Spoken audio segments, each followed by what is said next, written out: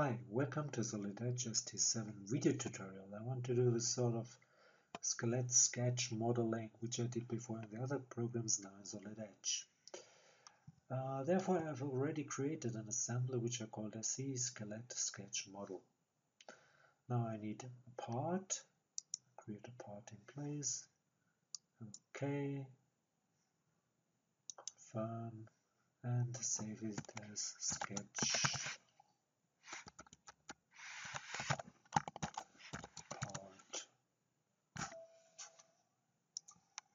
Okay.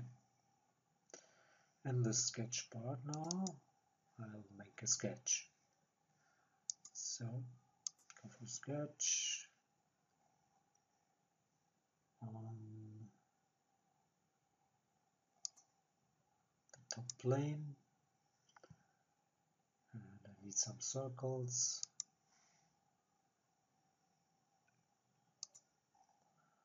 First one second one and third one and fourth one. Give it some dimensions. This could be 50 that one could be 30 this one 40 and the smaller one maybe 20 now let's align these give it. A distance, maybe 100. Add two more lines to the sketch, like this, and like that. Make them tangent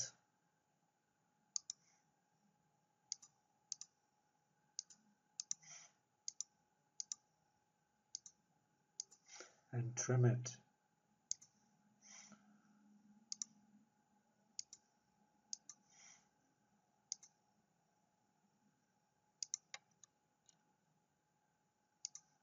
Okay. Now let's leave the sketch and I need some named user parameters. Therefore, I go to Tools, Variables, and I could rename these or I could define some new ones. So I will define some new.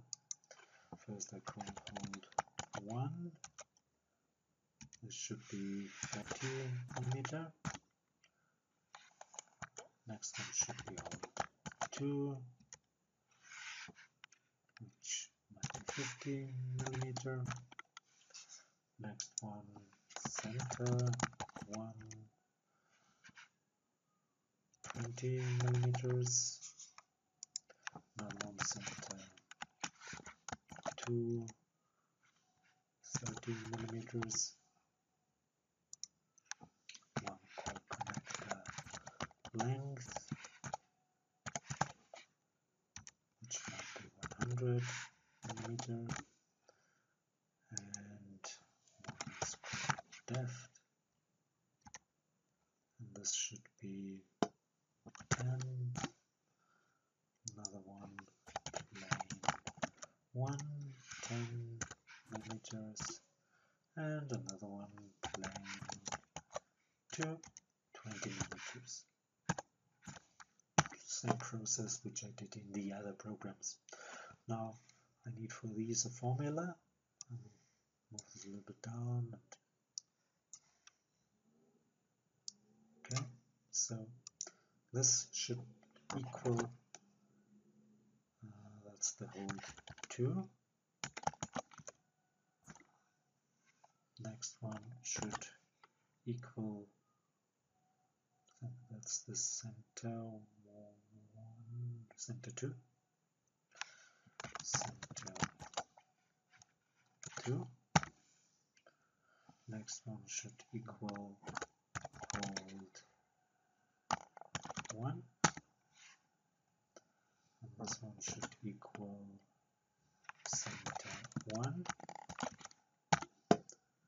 and this should be connector length. Okay. Now I want to tear off these circles and the connector into three new sketches. So I go for tear off. I have to select a plane. Take the top plane and I will take this circle and confirm it. Then again the top plane and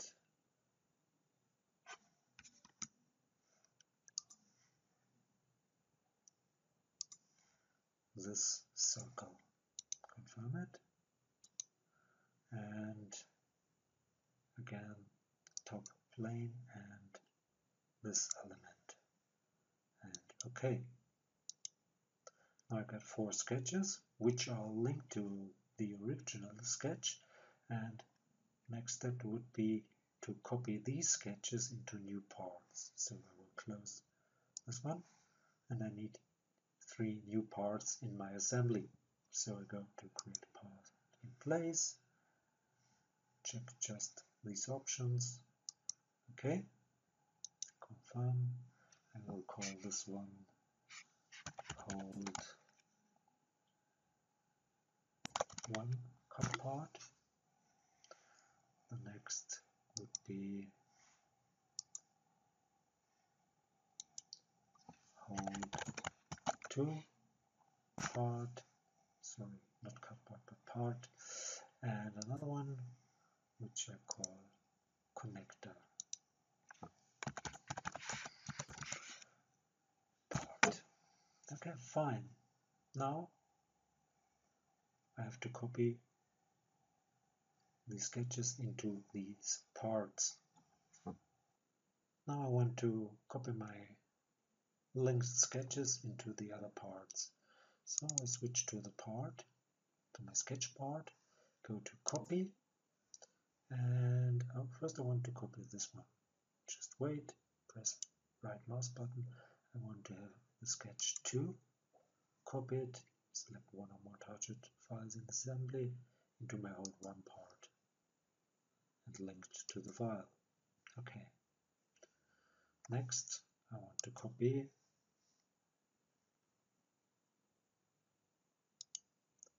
That's sketch 3 into hold 2 part. Okay. And last but not least, I want to copy sketch 4 into the connector part. Okay. Close and return. All these are connected. So I go to this part, and to this one, and this one, and I will create the extrusions. Now I want to use two planes to control the extrusions. In order to work, make sure that the solid edge options, the interpart options are activated. Yeah, take a look, all of them are activated. And I confirm this. And now I want to create two parallel planes in my assembly. So go for parallel one to the top one. First one should be 10 millimeters and the second one should be 20 millimeters. Okay. Now let's go to the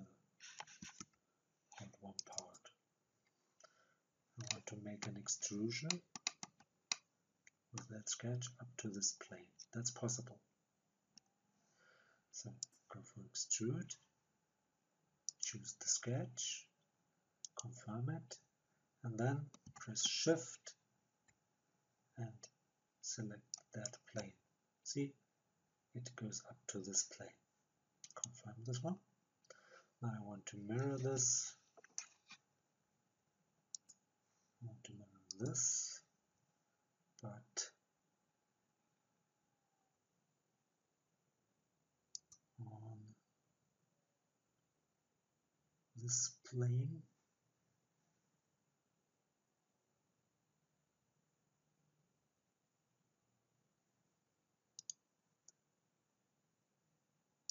okay.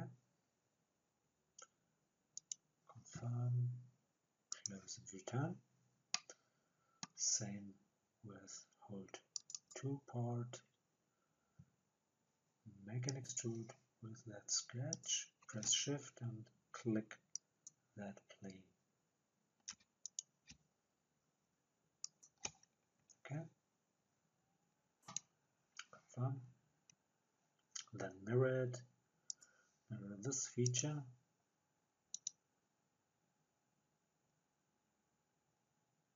with this plane confirm um, go back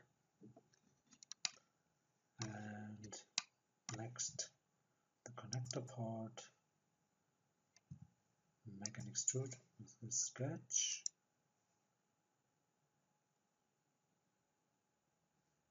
Confirm. And this should be symmetric. And it should be 10 and confirm close and return now I've created my parts I have to make sure that my variables, my parameters can control this whole assembly Therefore, I have to connect my variables from part to part somehow. Let's check. Go to Peer Variables and select the sketch part. Now, I want to link this parameter. So I go there, right click, copy link, close this one. Can go to Peer Variables and select the connector. Go right here and paste link. Close it. Now I should be able, with the peer variables of this part and the depth here to control the depth. So make it, let's say 5 and it works. Back to 10. Okay, nice. If I change the center this one to 10 yes 20 yes and maybe this one to 60 yeah works one small problem.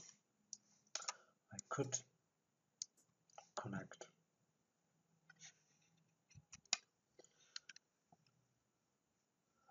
The planes to the parameter but there is a little but. So let's go to peer variables, get sketch part, and copy this one, copy link,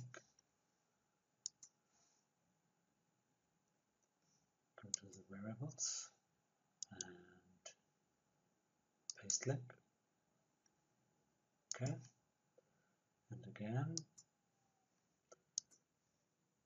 Copy.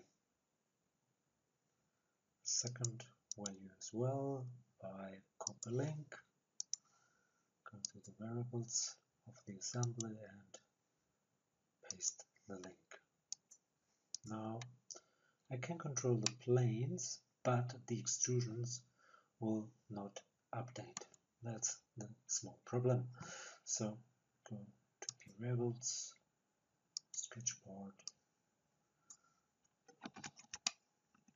so if I change this value let's take let's this plane to 30 the plane moves up yes but sadly the extrusion doesn't that's odd but it's like it is. So I would have to go to the hold two part to the protrusion, the definition, and go to the step. and by shift clicking the other plane